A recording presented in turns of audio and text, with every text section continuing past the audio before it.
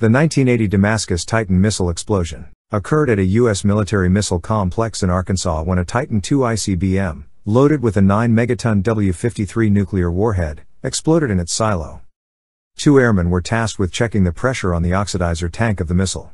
One of the workers had brought a 3 feet long 25 pound ratchet wrench instead of the mandated torque wrench. While descending the silo, an 8 pound socket for the ratcheting wrench fell approximately 80 feet before bouncing and piercing the missile's skin over the first stage fuel tank. A cloud of Aerozine 50 fuel began to leak out. The repairmen evacuated and an explosion occurred shortly afterwards. The explosion catapulted the 740 ton silo door and ejected the second stage and warhead.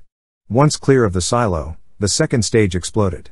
The thermonuclear warhead was propelled into the air and landed some distance away. Its safety features prevented any loss of radioactive material or nuclear detonation. 22 people were killed.